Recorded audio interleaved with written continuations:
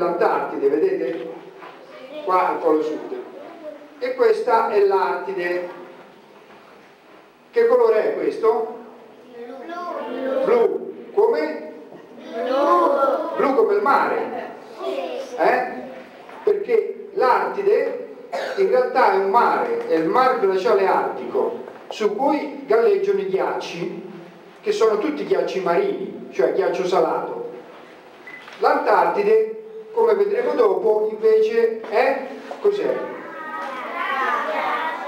È bianco, è bianco ed è un continente. Sotto, questa, sotto questo ghiaccio c'è la Terra.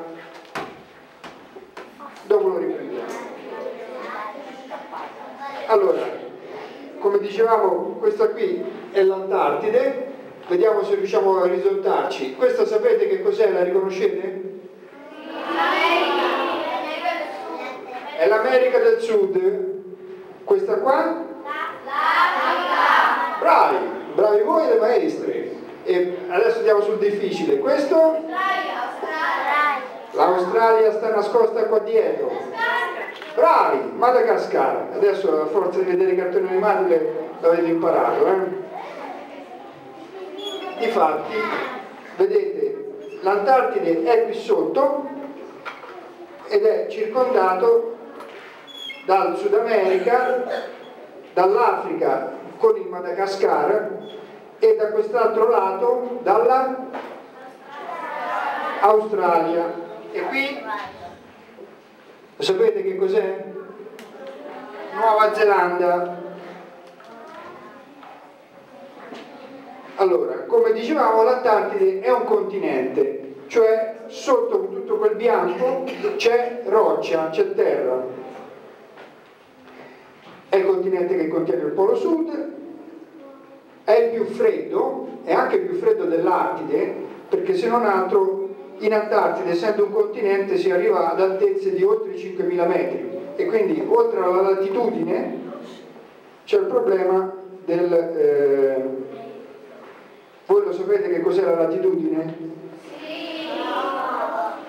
In sostanza la distanza dall'equatore. La Terra è tutta tagliata a fettine, che sono i, i paralleli, questo è il parallelo zero, il puntino qua sopra è il polo nord, che sta a latitudine 90 gradi nord, e qua sotto, al centro dell'Antartide, c'è il polo sud che è 90 gradi sud. È ancora inesplorato per gran parte il continente, vediamo se recupero l'altro po'.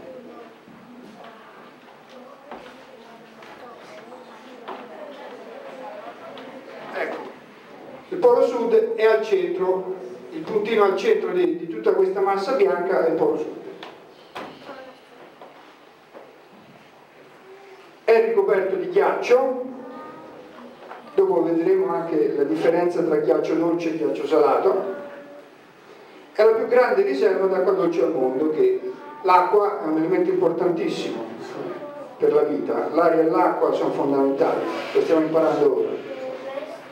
Come abbiamo già visto, l'Antartide è al centro ed è circondata dall'Africa, dall'America del Sud e dall'Oceania. Qui c'è l'isola della Tasmania dove ci sono i diavoletti, no? E questa è la Nuova Zelanda, da dove la nostra spedizione parte, perché noi abbiamo la base in questo punto qui. Questo mare qui si chiama Mare di Ross e l'Antartide si divide qui dove è più stretta in Antartide occidentale e Antartide orientale che è la più grande e, e questo punto più stretto sta tra il mare di Ross e il mare di Weddell, questo qua. La base italiana, le basi italiane stanno in questo settore, sotto la Nuova Zelanda.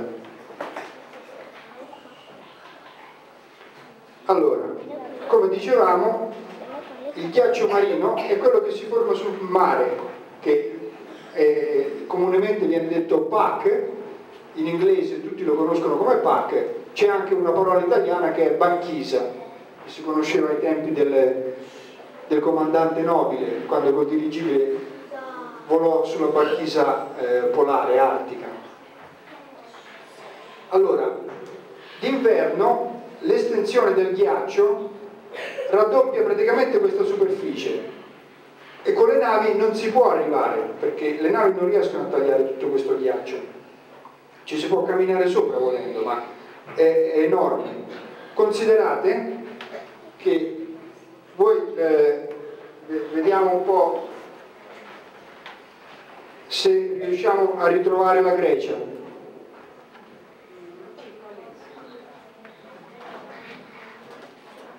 la sapete identificare qui l'Italia e la Grecia? Eh? Vedete come sono piccole?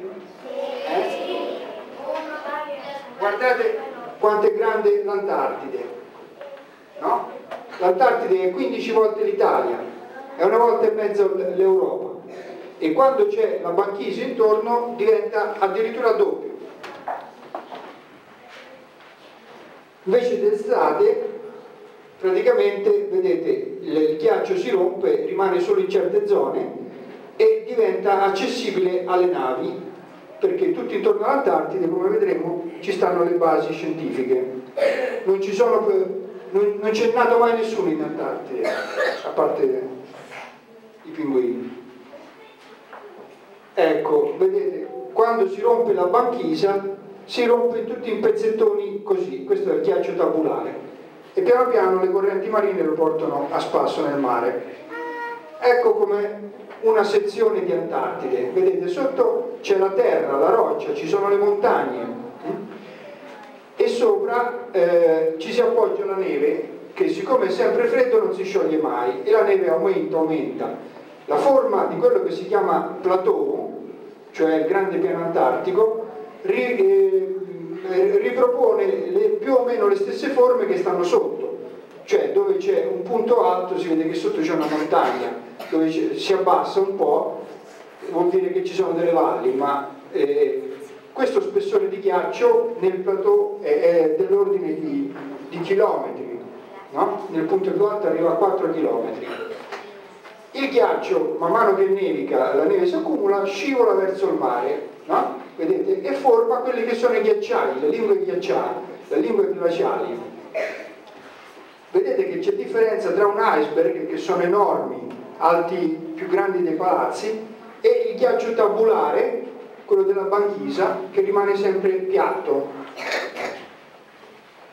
Ecco qua, vediamo, questo è come si formano le lingue glaciali vedete, quello è il ghiaccio dolce, che di acqua dolce che viene dal, dal continente, scivola verso il mare, si allunga, incomincia a galleggiare sul mare man mano che scivola, perché scivola sempre lentamente, non sta mai fermo. E quello che si chiama la legge del fil di ferro, a forza di galleggiare con le maree, far su e giù, si spezza e poi va in giro per il mare e forma gli iceberg. Voi la sapete la storia del Titanic? Ecco, Titanic è andato a sbattere, chi non la sa poi magari la, domanda a casa, chiede a casa. Ecco, questo è il ghiaccio marino, quello che abbiamo visto prima nella fotografia tabulare, e questo è il fondo roccioso. Oh, vedete, in questo grande continente che è una volta e mezzo eh, l'Europa, ci stanno soltanto 50 basi. E poi stanno soprattutto tutte lungo la costa, perché dentro ce ne sono pochissime, ce ne sono cinque. Questa qui che bandiera è? Brava, al polo sud c'è la base americana. Questa qua? Bravi. Quest'altra? Ecco, questa qui è Concordia, dopo ne parleremo, è la base italo-francese. Questa è difficile, vediamo un po' se la sapete. Bravi, complimenti. E... Cina. Cina. E questa? Messico? No, India questa. Questa invece? Ecco, vedete, tutte le basi che stanno sul plateau hanno vicino una base che si chiama base logistica, no? Quella eh, cinese ce l'ha qui, quella russa ce l'ha qui, quella italiana ce l'ha qui, questa francese ce l'ha qui, quella americana ce l'ha qua. Mm? Anche un'altra parte l'americana. Anche un'altra parte, qua. Questo è Palmer eh? e questo è McMurdo. Vediamo un po', questa che base è? Bravi! E questa bella colorata? Eh, eh, vediamo un po'. Bravi! No, Algeria, questo qua giù. Chi è che aveva detto prima? Sudafrica, bravi, bravi. E insomma, vedete che in Antartide più o meno siamo rappresentati, diciamo, l'80% della popolazione mondiale. I paesi che... L'Antartide non è, di, non è di nessuno, cioè tutti ci possono andare e chi vuole va lì e fa la, la sua base, però bisogna tenerla pulita. Ecco, come ci arriviamo noi? Noi partiamo dall'Italia, o con l'aereo o con la nave, giriamo tutto il mondo, perché l'Italia, vedete, l'Italia è qua e la Nuova Zelanda è qua, sono esattamente agli antipodi, cioè noi per andare dobbiamo girare proprio letteralmente metà del mondo. Poi arrivati in Nuova Zelanda, Christchurch, l'avete mai sentito dire? I terremoti di Christchurch? Negli ultimi anni i poverini sono, sono stati scossi diverse volte. E da qui o con la nave che ci mette una settimana per arrivare o con l'aereo che ci mette sette ore si arriva qua qui è dove abbiamo la base noi. E poi da qui si parte con questo aereo piccolino e si va qua a Concordia sul plateau dove abbiamo la base con i francesi. Invece i francesi loro ci arrivano da qua con i trattori. Ah già quello è un touchscreen oh voi lo sapete che ai poli c'è la notte polare? Eh? Questo perché abbiamo eh, l'asse terrestre inclinato. Vedete, al polo sud ci sono soltanto un giorno e una notte all'anno.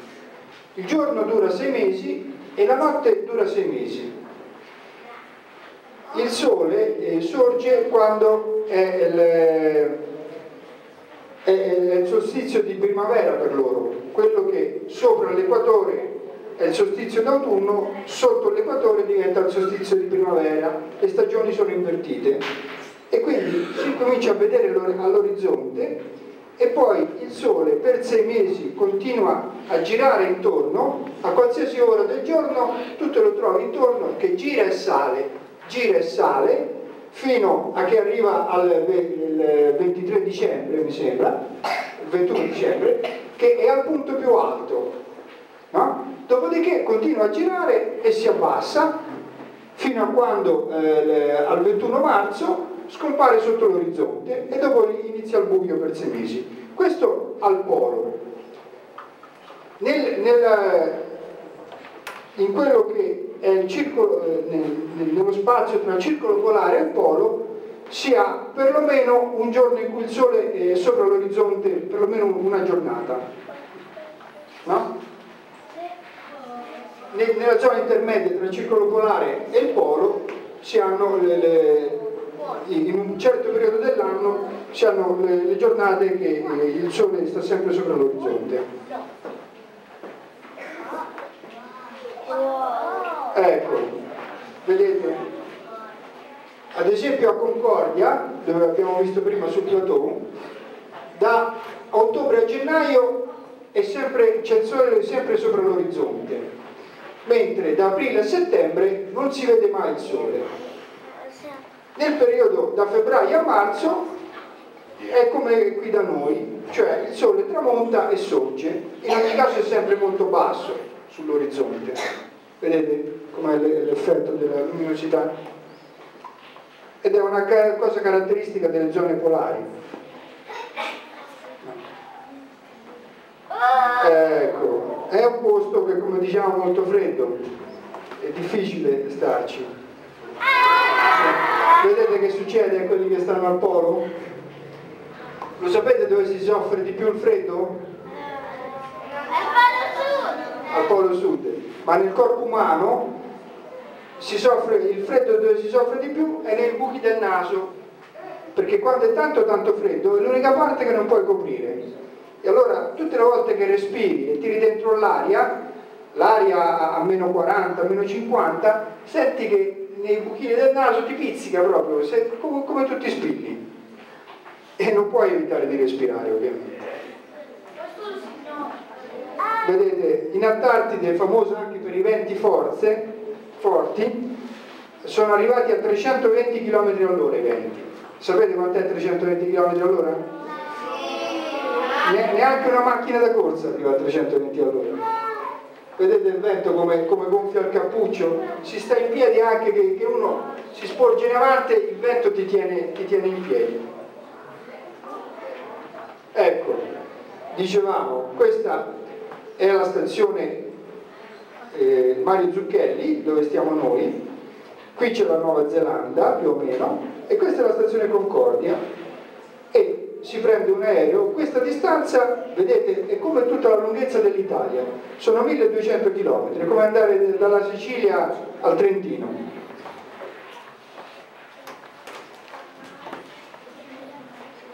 Vedete, questo è l'aspetto della stazione Mario Zucchelli, si vedono le rocce, si vede un po' di neve, si vede il mare, il pack che si è rotto, questo ovviamente è una fotografia di un periodo estivo perché quando è periodo invernale qui davanti è tutto bianco. E questi sono gli edifici della stazione Zucchelli, questa è la base, questi sono gli hangar, le officine, i magazzini. Ecco la freccia che indica dove è la stazione Zucchelli e questa è la stazione Concordia che sta sul plateau. Qui si sta a, a, a 3500 metri, no? in quota, si respira anche male quando si va su in alto, in montagna, l'aria diventa sempre più rarefatta, è sempre più difficile respirare. E vedete, è tutto bianco, in bia è tutto intorno è tutto bianco, per chilometri e chilometri, fino, fino alla costa. E la stazione è fatta da questi due cilindri, ah, che sono tre piani, e sono stati fatti due cilindri perché se per caso uno prende fuoco, c'è una grande porta qui in mezzo, tutti scappano nell'altro, chiudono la porta e almeno possono arrivare a, di nuovo a fine stagione. Aspettare che poi a fine stagione arrivino i soccorsi. Oh, questi sono i mezzi aerei con cui ci muoviamo. Questo è l'Hercules che fa i voli intercontinentali tra la Nuova Zelanda e l'Antartide. Vedete alle ruote deve atterrare su un ghiaccio duro se no si affonda invece questo è il Twin è quell'aereo piccolino vedete questa è la persona che ha solo due motori, questo ha quattro motori, che ha gli sci e quindi può atterrare sulla neve e arriva a Concordia. Questo invece è un elicottero che vedete esce dalla pancia dietro dell'Hercules. Qui dietro si apre questo portellone e può trasportare addirittura due elicotteri insieme. Due? Elicotteri entrano dentro la pancia di quell'aereo. Questo è un volo tra i ghiacciai e questi sono i mezzi che usiamo in Antartide, vedete? questo è il gatto delle nevi e queste sono tutte eh, macchine con, con, grosse ruote per poter camminare anche sul sulla neve e sul ghiaccio. Questa è la nostra nave, vedete come entra nei ghiacci? Dopo per scaricare usa le gru e si scarica direttamente sulla banchisa.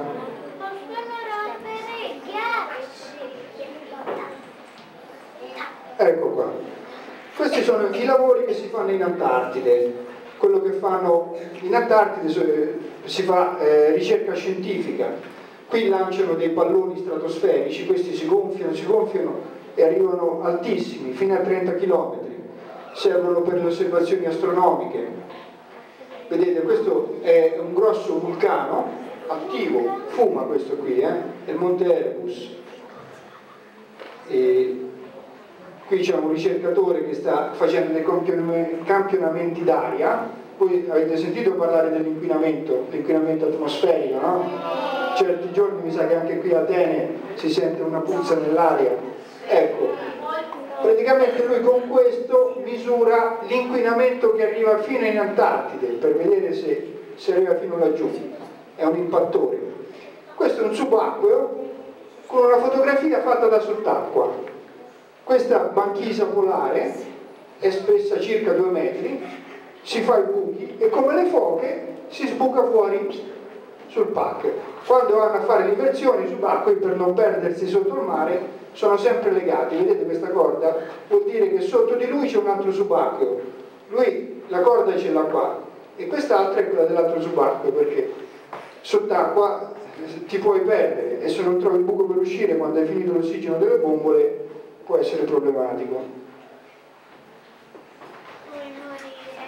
Ecco, puoi morire certo. Vedete, questo è un campo, quello che si chiama un campo remoto. Alcuni ricercatori si fanno portare lontano dalla base, li portiamo, queste sono le motoslitte, questa è, è la loro, eh, noi la chiamiamo una mela perché è, è tonda, è il loro rifugio, e ogni tanto con l'aereo gli portano da mangiare i viveri, il cambio dei vestiti, quello che è necessario.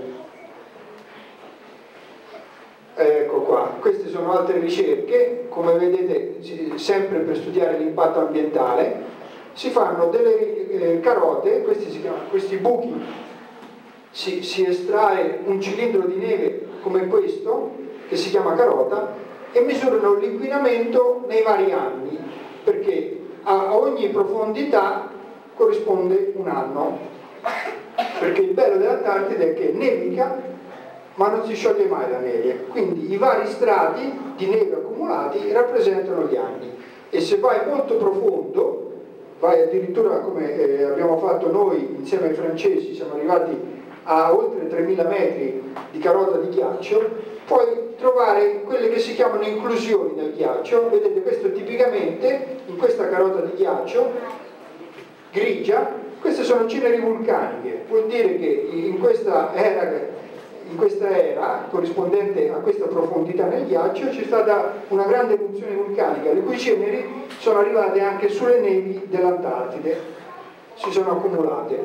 Poi qui nelle carote si trovano le bollicine, bollicine d'aria, che vengono intrappolate ogni volta che nevica e quindi la carota di 3500 metri corrisponde a 800.000 anni fa e quindi sono state prese le bolle d'aria di 800.000 anni fa ed è stata analizzata l'atmosfera come era composta tra metano, anidride carbonica e tutti i vari gas dell'atmosfera 800.000 anni fa.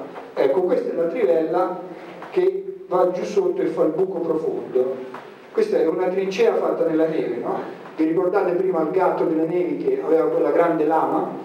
Ecco, questo il gatto passando e passando ha fatto la trincea è stata fatta profonda 6 metri, che è l'altezza per alzare la trivella, questa qui, perché questa qui viene abbassata, viene presa la carota e poi viene rialzata e poi fa un altro trapanazione per altri 6 metri, poi viene ritirata fuori, rimessa orizzontale, presa la carota di ghiaccio che diventa sempre più vecchia, più vecchia man mano che si va giù, messa dentro una busta di plastica pulita e poi viene portata senza farla sciogliere nelle varie università in Europa e negli altri paesi per studiare tutto quello che il ghiaccio contiene.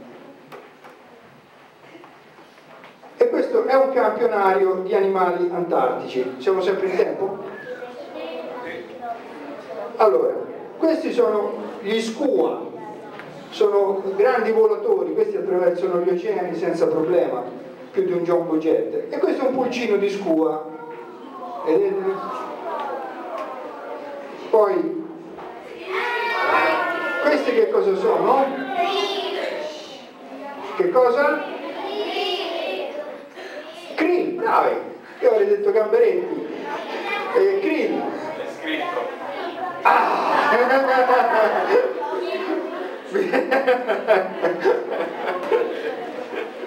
Pistola questo ingegnere. Ecco, questo è il cibo per le balene. Le balene e altri, eh, altri animali, i pesci antartici, i pinguini, mangiano tanto di questo qui. E, e, le balene quando aprono la bocca, lo sapete, no? Che hanno una specie di filtro, mandano dentro tanta acqua filtrano tutto il krill che sta in mezzo all'acqua e il resto lo buttano fuori, no? vedete quello spruzzo che hanno le balene sopra? Ma questo è anche il motivo per cui tanti pescherecci vanno giù in Antartide. Io qui non so se dopo facciamo vedere un, un filmato di, di una guerra in Antartide tra pescatori. Sì, ecco. Vedete come sono brutti? Eh?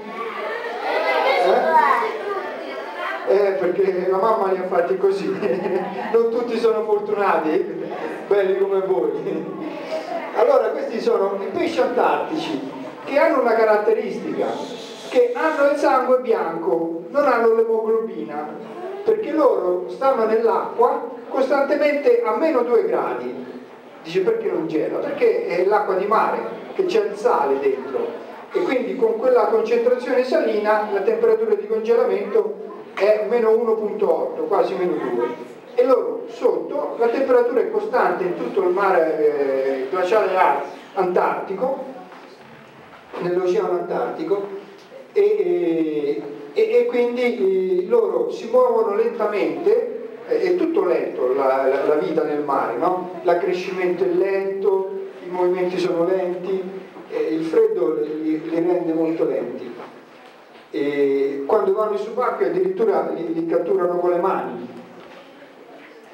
E, però è importante perché hanno scoperto il, il sangue di questi pesci che contiene una proteina che eh, ovviamente rende eh, il loro eh, sangue fluido, proprio perché sta a temperature molto basse, ma questa stessa proteina trasformata in medicinale eh, rende fluido anche il sangue delle persone, quindi le persone che hanno avuto un infarto gli danno questa medicina, è stata un'importante scoperta questa proteina che sta nel, nel, sangue di questi pesci antartici, perché rende più, più, più fluido il sangue, anche degli umani.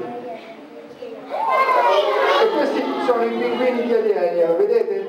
Dopo, dopo vi faccio vedere una cosa che... Questi invece sono i pinguini imperatori, un pinguino d'Adelia è alto così, un pinguino imperatore è alto così, è più del doppio e vedete i pulcini crescono, questi grigi sono i pulcini, crescono a una velocità incredibile, perché devono subito proteggersi dal freddo. Queste sono le foche, le balene, le orche e questi sono gli animali che in Antartide non ci sono più. Che cosa sono? Bravi, sono gli aschi. Allora, l'esplorazione dell'Antartide è iniziata con gli aschi, non solo, anche con altri animali, con i poni. E... Tant'è vero che proprio l'ultima volta eh, un bambino mi ha fregato perché gli ho chiesto chi è stato il primo a arrivare al Polo Sud e io pensavo al grande esploratore norvegese Amundsen un silenzio in aula, dopo un po' un bambino fa un aschi Dico c'hai ragione, per forza. Nessuno l'aveva detto, ma il primo a raggiungere il Polo Sud è stato un astro. Però hanno scoperto che loro portano dei virus, no? Sapete quando gira l'influenza? Oh, noi ci salviamo perché abbiamo le difese immunitarie e anche i cani hanno il loro virus e sapete che i virus si trasmettono eh, tra persone uguali, cioè tra, eh, tra eh, esseri dello stesso genere e serve una certa affinità di genere per potersi trasmettere. Ora hanno scoperto che i cani hanno una certa affinità con, con le foche e eh, siccome loro hanno le difese immunitarie non succede niente, però se uno dei virus che portano questi animali eh, potesse attaccare una foca, dato che quegli animali non hanno difese immunitarie, eh, farebbe una strage, in pochi anni perderemo tutte le foche. E, e, allora è stato deciso nell'87 di portare fuori tutti i cani dall'Antartide e sono stati sostituiti da che cosa? Ve l'ho fatto vedere prima. Da che, dai poni? No, da, da, una cosa meccanica. Cos'è che tira le slitte adesso? Le motoslitte, brava, la motoslitta, vedi la bambina i cani sono stati sostituiti in Antartide dalle motoslitte. Ora, vi ringrazio, ma eh, visto che abbiamo tempo mandiamo un po' di filmati, eh? vediamo se riusciamo a divertirci.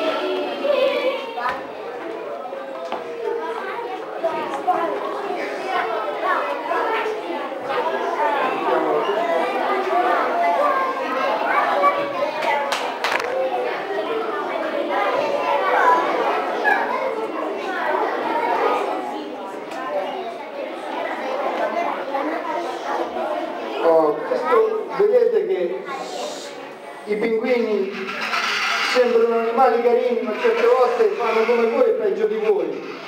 Guardate come litigano questi tre, eh? eh vedete come si prendono schiaffi? E gli altri tutti attorno guardano. Guarda, probabilmente stanno litigando sembrano oggi comiche, eh? Ma guarda le, le piume che volano. Ma vedete quanto è grande la pinguinaia? Questi qua dietro sono tutti pinguini. È come una città. Guarda, guarda che si danno. E considerate che per andare giù al, al mare questi stanno a una quota di circa 80-100 metri. Si arrampicano sulle rocce, è incredibile. Ah.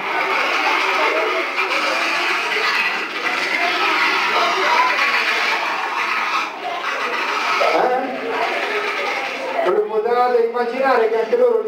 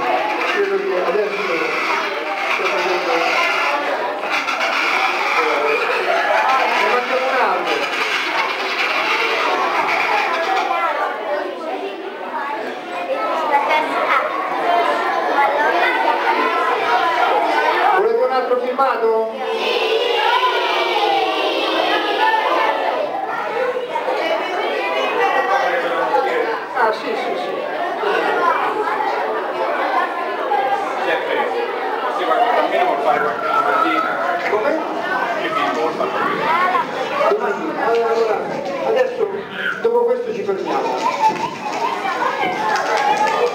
Ecco qua, che ha dato una beccata alla telecamera, che mi dava fastidio.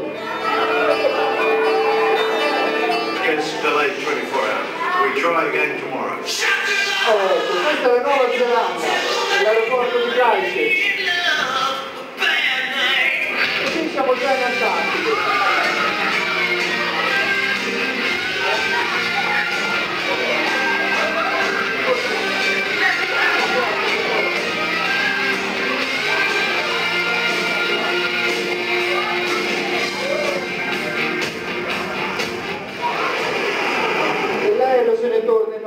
domanda dopo aver scaricato gli scienziati. Ecco, questa è la base.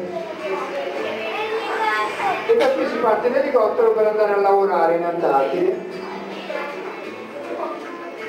Vi piace? Questo è il paesaggio antartico. Questo è il mare,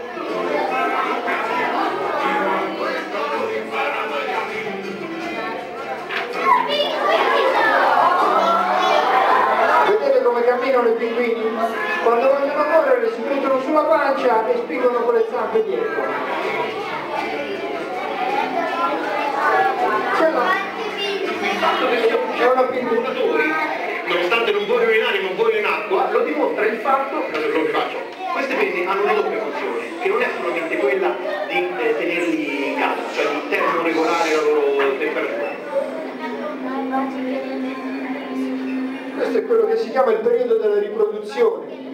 quanti pulcini ci sono in mezzo alla pinguinaia?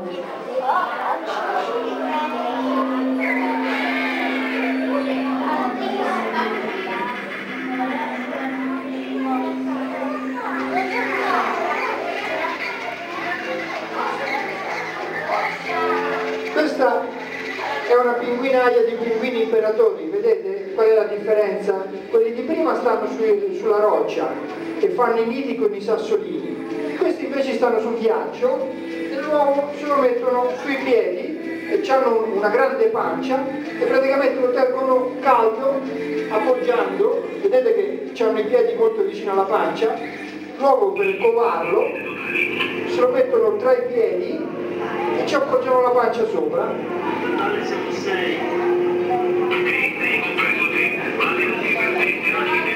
Ecco, questo è un gatto delle nevi. E questa è una trivella che fa un buco nel ghiaccio marino. Vedete, pof, sotto c'è il mare.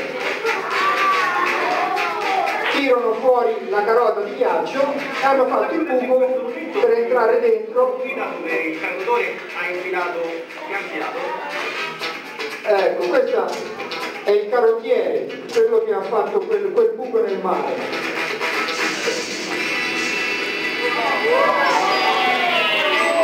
Vedete, questo è tutto il ghiaccio crepacciato.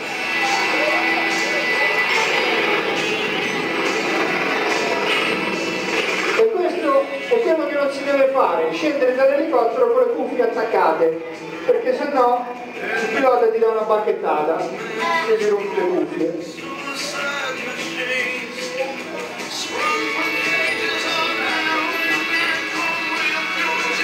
Qui è quando si fa merenda o codice 2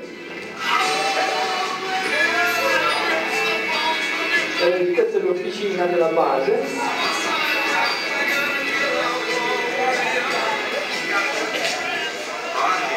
e questo è il grande magazziniere, Valerio. Tutte le volte che ci serve qualche cosa in base andiamo da lui e nei magazzini ce lo tira fuori.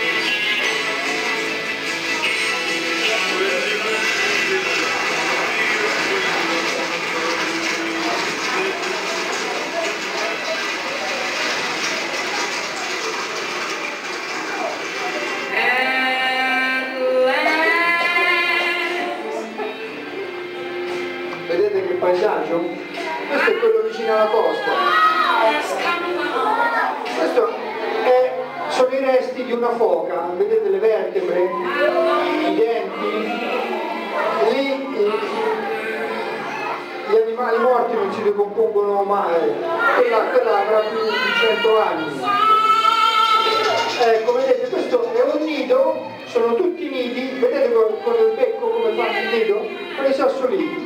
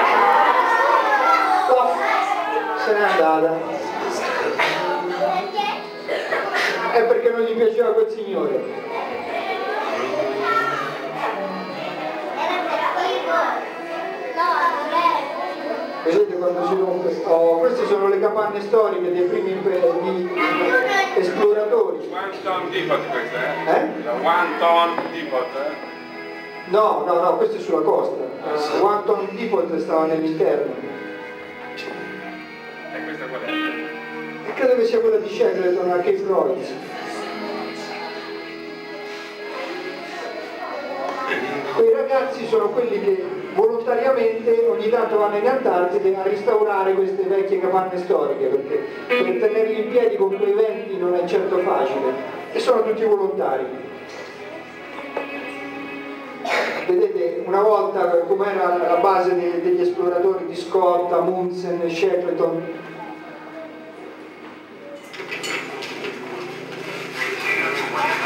Uh, qui si preparano i subacquei, vedete le, le carote, questo è il medico con la ragazza, ci pensate ad andare sott'acqua per mezz'ora con l'acqua a meno due? Non è una cosa... Vedete? E scompaiono sott'acqua.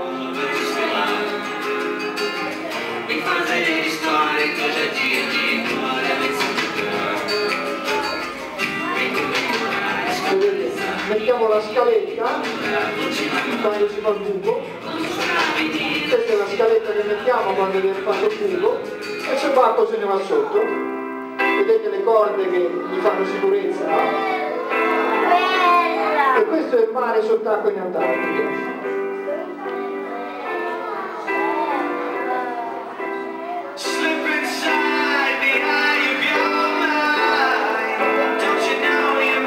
vedete queste sono tutte conchiglie si chiamano adamussium